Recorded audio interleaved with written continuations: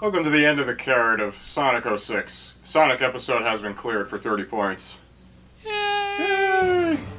With three wings. Only took me seven and a half goddamn minutes. Just made Yes, we just made it through this terrible, terrible playthrough. Yeah, yeah. I think I think the first thing I did, I think the first thing I did after, um, actually I can't even remember how I made this happen. I, I ended the fight, and then there was a pause. Oh, that's right. I recorded this all as one chunk, and then I just split it up later. Okay.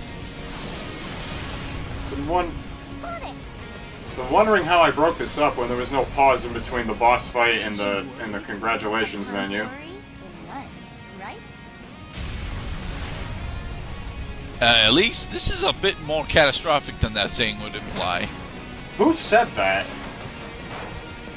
If you have time to worry, then run. Yeah. Sonic said it earlier in the playthrough. Oh. So that that was a Chekhov's gun, as though to demonstrate that some thought had been put into the storytelling. They are dead. Oh no, you had four rings at the end of the boss fight. Sonic is totally okay. At least should be dead.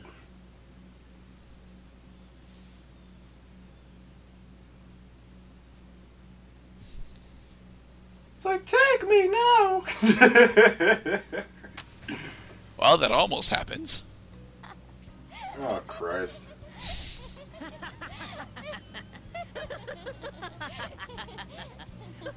Just remember, folks, directly after this, Sonic gets impaled by a Mephiles beam. Yes.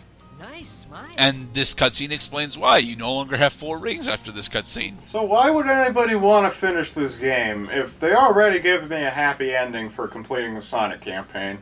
Well, here's the thing Sonic's campaign is the least important out of the, the three campaigns. The least important? Yeah, Eggman's not the final boss in this game. Not even close. No, it's fucking Super Mephiles, whatever. Yeah, Solaris. Super Solaris plot infused Mephiles thingy. Yes.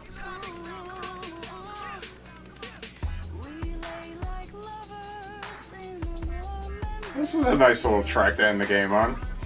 Yes, but it's also incredibly J-pop and romantic. Yes. Not something that I would associate uh, Sonic with. J-pop certainly, but not romantic. Romance. Also, there's a goddamn claptrap in it. Why is there a goddamn claptrap?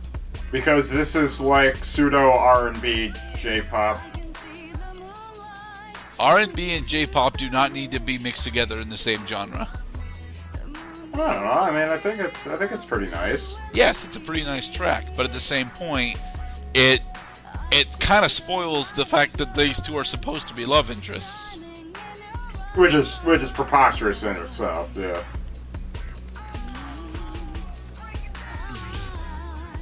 Who are they appealing to with this bullshit? Very no, very few people slash no one. No one is actually happy about this confirmed relationship. well, I mean, didn't they retcon like this whole game? Uh, with the ending of this game, yes. Oh, oh yeah, yeah, that. They, they wrote themselves an escape route. Yes, which was honestly, I think, I think the community would have been uh, more on fire at the time, but would have accepted it, uh, especially with the concept of Sonic Generations, if they had actually stuck with their guns and said, "Yes, this actually happened." You see all these people whose names we're reading? Laugh at all these people. Point at the screen. Point at the screen and laugh at them. Ha ha ha. You were you all worked on a terrible fucking game. um. No, I, I, I, I digress. It is unfortunate how this game came out. I know that none of the people on this list, you know, they everybody everybody who worked on this game wanted this game to be everything that it could have been. It just that that it didn't happen. Witchcraft. Ooh, Oh, that's maybe that's why the game faltered. because they broke the deal with the devil.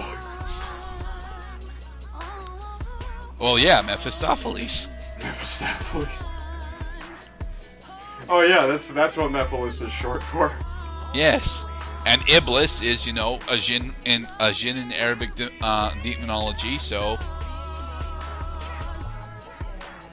Is in a wait. What's a, what's a jinn? Oh, um, they're more commonly referred to by children's media as genies because Jin is much more difficult for children to pronounce. Ah, At least I think so. so if I had three wishes, I would wish for a uh, a better game. C, I mean two, about four hours of my life back, and three of just a better game. So Sonic Generations and Sonic Colors. Uh, you know, actually, I only, I a while ago, probably like 2010, 2011, I watched somebody play Sonic Generations. I saw the 2D. I'm like, you know what? This is really cool. Bring back Sonic 2D because that's what I grew up with. Mind you, I did grow up with some Sonic 3D. I mean, I played Sonic Adventure 2 Battle. I played Sonic Adventure DX, the director's cut. The only Sonic that I actually ever grew up with was Sonic Heroes, and I think it was Sonic 2. And I only managed to play Sonic 2 at, at a babysitter's place. I had I had Sonic 2 at my cousin's house. I still really like Sonic Heroes. I will admit that uh, it doesn't actually hold up, but I like playing Sonic Heroes. It's one of those games that I keep wanting to go back and uh, grab the uh, Dol- uh, on my Dolphin emu, but I don't actually have my Dolphin emu up and running yet. It's a Oh look, it's a horrible Knuckles rep in the Sonic portion. I love these. I love the Knuckles raps. hey, Pumpkin Hill is my jam, you know. I dropped the beats of that shit. You know what I'm saying? So, Sonic the Hedgehog remains one of my favorite IPs of all time. It's a very pleasant universe. It, it makes it's the kind of game that makes me smile every time I every time I see you know somebody playing it or I see just content from the game. I wanted to ha- I wanted to enjoy this game, even going through it. But the, most of the satisfaction I got from finishing this game was just that, finishing this goddamn game. and I could walk away saying, "Yeah, I played Sonic 06. Well, the first third of it. I played Sonic 06."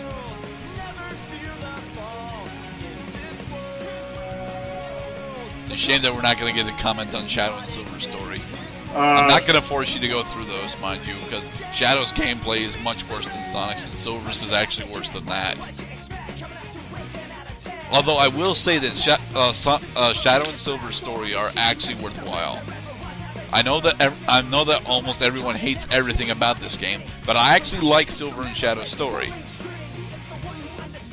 I can't remember if I can't remember if like off off recording I went back to the Silver campaign and I started playing as Blaze.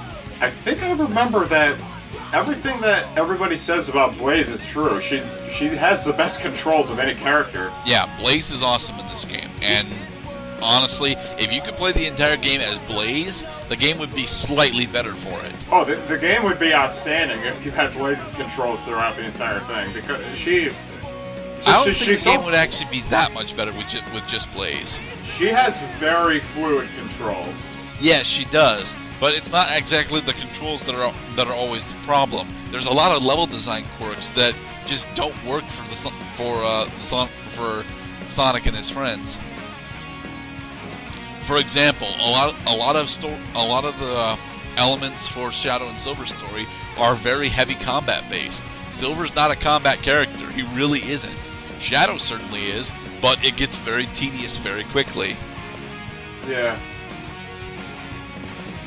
And for for those of you listening at home, I mean, I'm not I'm not saying go to somebody else's commentary channel to find Sonic 06 content on Shadow and Silver, but you're gonna have to go to somebody else's commentary channel to get that content.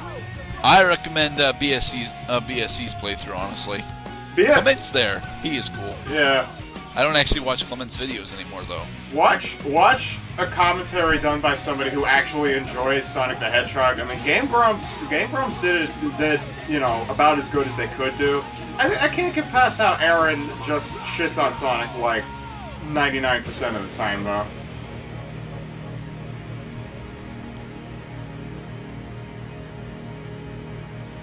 But yeah, we have reached the end of the carrot in Sonic 06. Sega. Alright, everyone, be safe, and next we'll be continuing on with Oracle of Seasons. Huzzah.